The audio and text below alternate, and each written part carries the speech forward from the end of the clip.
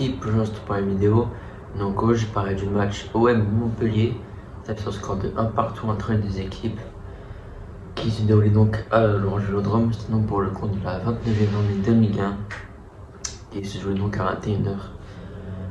Donc bien sûr, c'est un frustrant pour l'OM, parce que si l'OM aurait gagné hier soir, on reviendrait à 4 points du PSG. Malheureusement, ce n'était pas le cas. Donc plutôt une compo assez surprenante côté du Nord. Donc euh, voilà. Donc euh, l'OM se fait mener rapidement au score à la deuxième minute avec un but de Arnaud Nordin sur une contre-attaque où il n'y a personne qui défend. Ça fait un 0 à la deuxième minute pour Montpellier. L'OM réagira à la 44e sur un penalty de Matteo Gendouzi. Un partout à la pause. Et en deuxième mi-temps, l'OM qui a vraiment du mal, qui se crée l'occasion mais qui manque de réalisme score final un partout.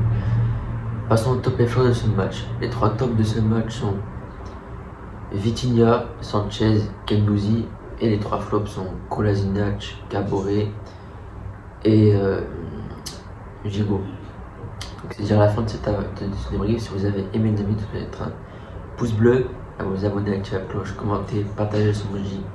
Ciao et allez l'OM